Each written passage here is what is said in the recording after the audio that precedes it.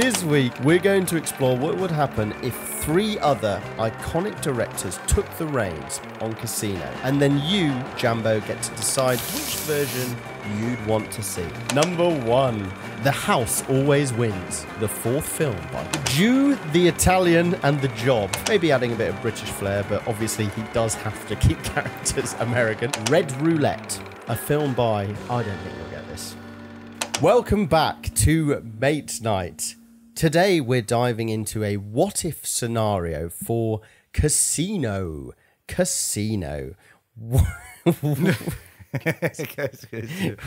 is scenario? Casino, casino. Where we imagine how Casino might have turned out if Martin Scorsese hadn't directed it. So there's just nothing happens. Big change this week. just no- nobody directed. Just it's just a script and a bunch of actors. Changes. what if Casino didn't happen? They all performed it.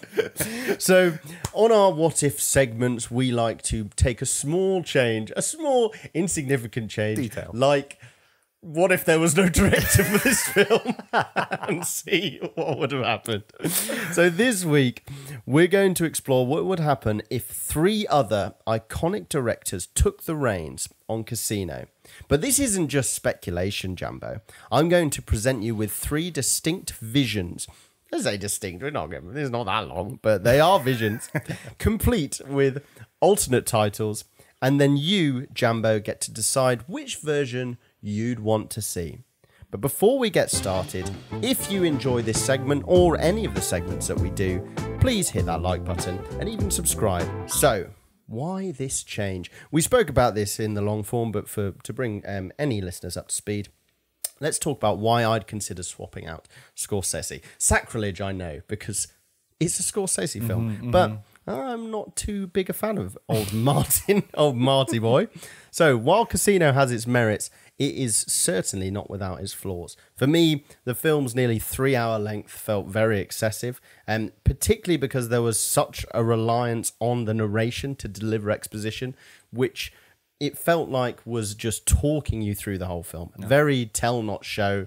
Personally, I'd rather if the director had decided to leave things up to interpretation or been a bit smarter around how they led the audience down the actual story they were Maybe a little more nuanced. Just something other than being talked at for so long. read me a story. So Scorsese often resorts to telling us through voiceover what's going to happen rather than showing, uh, and I feel that this is a bit of a storytelling shortcut. Also, a, a smaller gripe, the non-linear narrative. Now we've had so many non-linear films that we've done, so I'm not going to dock it for that. But specifically in this case, the non-linearism was just for the car explosion at the beginning Yeah. which I felt came across as a bit of a cheap bait and switch. I was gonna considering- say corny. considering he Yeah. didn't actually die from that. Um, so rather than that, or an engaging plot device, maybe scrap that.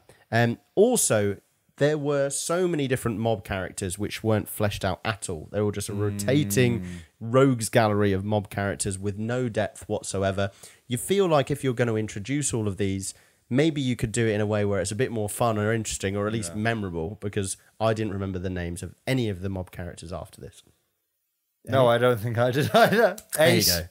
Oh, I mean, I remember the main characters. yeah, it's getting. So I felt the film doesn't do enough to develop them, leaving me less invested in their fates. Like, for instance, the guy who ends up killing Nicky, Yeah. he was his best mate and he was lying to the other mob, well, not best mates, but he was really in, in tandem with him. Yeah. And then he was suddenly very anti him. I know Nicky had kind of fucked him over a bit, but didn't you think by the end it was almost way out of left field Yeah. that he was Yeah. so against Nicky? Things like that. Maybe Yeah. we can make this a bit more earned and And it justified. was it was a real story, and that guy really did it. But Scorsese should have explained what the hell was going on there. Like it felt so, especially after three hours. How Mm, yeah. have they not managed to explain why Nicky's been betrayed by his closest advisor yeah, e- exactly that. So with such venom as well? that was like one of the the key points I wanted to make. You hit on the head is that we've we've literally sat through three hours of this. How can we not know the names of some of the characters or a bit more of the backstory on them? Like you had the time. If you're going to take that much Yeah. of our time, no. don't just talk to us. All right. And if you tell, don't show, you can just like you know just Just tell us why you did Just it. At tell- tell us who they are. if you're willing to just tell us everything, tell us why the fuck this stuff's happening. Just tell us, Marty. So, um, obviously, there were things he did well. I enjoyed the humor of it, uh, the memorable score slash soundtrack in this case, um, dynamic visual storytelling in, in some cases. I mean, Absolutely. he is a great director, obviously. Um, and of course, it was character driven. So, these are some points that I wanted to retain in my selection of the uh, different um, directors that we're going to look at.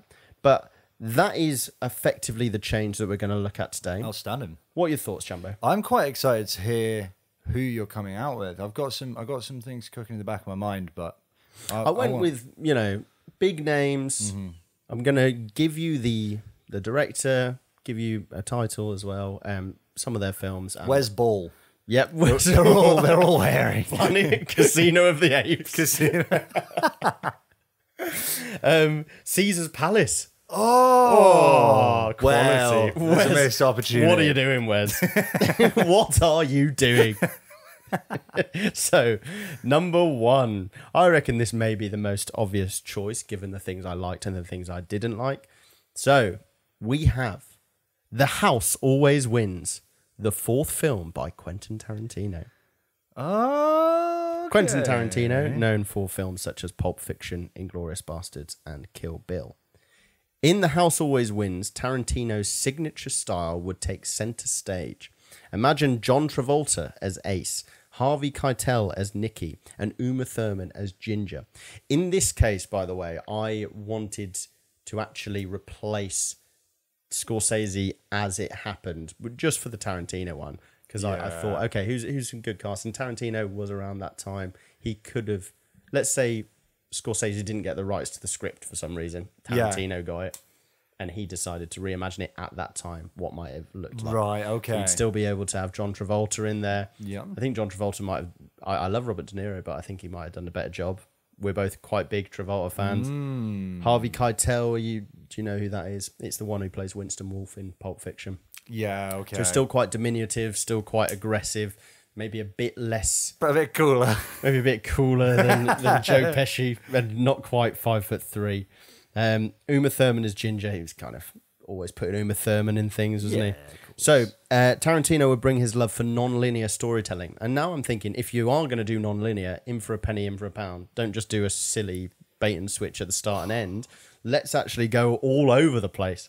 So non-linear storytelling with his own twist. Instead of merely following the events as they happened, he might rewrite history entirely, like he loves to do. So you could see this happening in a load of different ways. Maybe some of the characters survive that wouldn't have. Maybe um, Nicky, Probably not.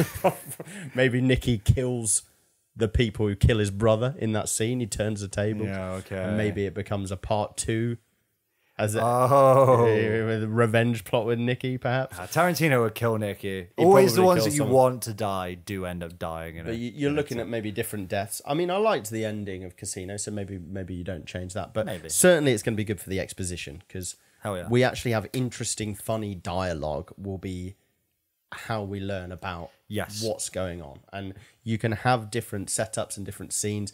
We'd probably get a bit more of a richer dynamic between Nicky and Sam, like their conversations. They could be talking a bit more about their backstory, how they know each other, why are they friends, um, anything like that. You'd, you'd be able to set those scenes in the Tarantino esque Yeah. vibe. Um, so picture Ace and Nicky in a tense, loaded conversation in a back room of a smoky casino, revealing their schemes and tensions with each biting line. You you could see it. You could see how Tarantino would execute something like that. oh yeah.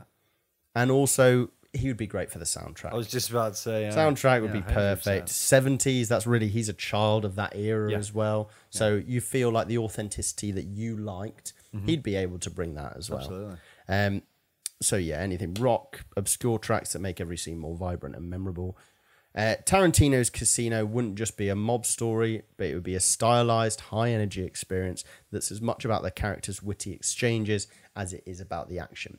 And given the behemoth that Casino was, mm-hmm. I feel like Tarantino could take a three hour film, chop up the narrative or chop up the chronolo- chronology a bit, mm-hmm. make it feel a bit fresher, mm-hmm. Like I ended up watching this in three sittings, and I thought, wow, if I had to watch this in one, I would have struggled. Did you watch it all in one? Yeah, of course. I did. Yeah. How did you find that? Well, I think any film is going to be more enjoyable if you watch it.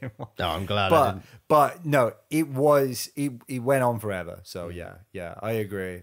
So- I agree. He's our first setup. Yeah, I like the new name. Remind me that the house always wins. The house always wins. A quote that I'm sure they said in the the film. No, right? I feel like they. Maybe. It's a phrase, isn't it? So- Yeah, it's a good title though. I like that. It's very Tarantino. The Jew, the Italian, and the job. Hang on, the good, the bad, and the ugly. Ooh. Is that is that the is that who you? That's not. It's not. Um, it doesn't matter. It's not him. A Guy Ritchie flick. Oh, Notable films: Snatch, Lock, Stock, and Two Smoking Barrels, The Gentlemen. The Jew, the Italian, and the Job would be Guy Ritchie's take on the Las Vegas underworld. Maybe adding a bit of British flair, but obviously he does have to keep characters American. Yeah. So it might be a bit more of an ambitious attempt for him. And in my imagining, I actually have him coming off the back of. I, I, I say this, but the, the casting that I chose was maybe a bit all over the place. But I have him coming off the back of Snatch. You know, so he's in that zone, but now he's going to attempt an American yeah, an American so mob still film. very. So he's still fresh. He's still like a, a an interesting new director who's really Yeah. taking everything on. But he does have. I mean, I had Matthew McConaughey at his age, so maybe a bit early for that. But whatever. Time doesn't matter. Jason Statham as Nicky, but he's doing an accent. I feel like he had to have Jason Statham in. You, yeah. I'd like to see him try I, I'm not sure I can see him playing Nicky though. it's like, no, no, no, no I'm going to put you in the ground. no, no. no. Nicky's like, You're not careful. I'm going to put you in the ground. and Michelle Dockery, who worked with Ritchie and The Gentlemen as Ginger. Ritchie's version would be heavy on the action, as you can expect, with each ma- major character getting their own backstory, which he is great at fleshing out with interesting stories. Um, the narration would be witty, fast paced, similar sort of style to Tarantino, but a bit more. It's usually just a British Tarantino, isn't he? But one thing that I will say that Ritchie sets himself apart with is a d- diverse set of characters within a space. So, like, you know, mm-hmm. East End London, he could have a massive eclectic cast of characters, and he does a great job of giving them their own limelight, usually through storytelling. So mm. he'll have one character talk to another about another character in the guise of some interesting story. And that story would tell you all you need to know about that character. and you ah. remember the names of those characters. You remember where they came from, what they do. So uh, each mob character hence would be more fleshed out, making the film feel less bloated and more engaging. Dialogue would be snappy and full of banter. The humor we may identify a bit more with as Brits, um, and the soundtrack would be similar Yeah. in terms of you know some real rock classics and good vibe um, bangers, but maybe a bit of a mix of British tracks as well. So, Rich Casino, stylish, action packed. Uh, the stakes are high and the characters are as colourful as the dialogue. I feel like just post Snatch as well, it might end up being a little grittier than Scorsese's Casino. I think that he may deliver better on the humour, which I know some elements Scorsese obviously tried, but Guy Ritchie's films are like funny, generally Yeah. funny. So it would be a different, it'd be a bit more of a light-hearted, but maybe more bloody, but more light-hearted. Yeah, that's it. It, it can be both, can't it? And I think that the Mm. Ritchie post Snatch is a, like much grittier than Casino was. I Mm. think. So final film then, Red Roulette, a film by I don't think you'll get this. David Fincher. David Fit. God damn it. Oh, Ah, right. Okay. Go on. Notable films: Fight Club, Seven, Gone Girl. So a bit of a darker take on this one. Wanted to see how someone who's a bit more dramatic and tense would have looked at it. So in Fincher's Red Roulette, the atmosphere would be dark, intense, and psychologically charged. So the psychological interplay that he has between the characters, Fincher would really heighten that with tense, um, gripping scenes that would really showcase the the psychological disposition of each character Okay. rather than Yeah. maybe make them ca- a bit caricaturish and cartoonish, which sometimes can happen in um, Scorsese's version. I've gone for Ben Affleck as Ace and Edward Norton as Nicky. I feel like Edward Norton has that intense craziness. He, although he isn't short, Nicky is supposed to be quite short, but Norton is played against is against Ben Affleck, who's massive. So maybe you could just make it look like he's shorter than he is. Yeah, okay. Something like that. Or maybe get Tom Cruise, actually. Tom Cruise, wow. Uh, and I've gone with Rosamund Pike as Ginger. So Fincher would strip the story down to its core, focusing intensely on the psychological dynamics between the characters. There may be a tense scene that no doubt you can imagine where Ace is plagued by paranoia and obsession and meticulously monitors every movement in the casino, the camera lingering on his strained expression as the tension builds. This film wouldn't be about fast paced action, but rather a slow burn, an exploration of trust, betrayal, and the human psyche under pressure. And you'd still get the cathartic moments of, of death, of uh, mob violence. Yeah, absolutely. All of that you could interplay with real tenseness in the scenes between the characters. And with three hours, you got time to do that. Uh, uh, other identifiers of Fincher works would be a dark color palette, muted tones. So maybe that wouldn't work as well with the 70s Vegas approach. I think it could. It's something I'd like to see how he would go about that. But that's the only thing that I could clearly see as a, a demerit against him. Um, but he still uses shadows and lighting to create a visually striking film. That's typically yeah. what he's able to do. So it can feel both of its time and timeless. The soundtrack, again, would be a, a breakaway from the others that we've looked at. It'd be more eerie, more industrial, and contributing to the overall sense of dread hmm. that perm- permeates the film. In Fincher's hands, Casino would be a psychological thriller more than a crime drama. Very different film. So, Jumbo, which of these versions would you have wanted to see? David Fincher. Oh, Really? sorry. Go on. That's not interesting. David Fincher. I, I I actually think that the story needed a darker direction. Like in terms of the way it was presented, the story itself is a quite a dark story. Mm. And I actually think that when you were laying it out to me, especially once you started explaining about how he would present it visually, and also about the, you know, I, I said one of my favorite things about the story was the relationship between Nicky and Ace.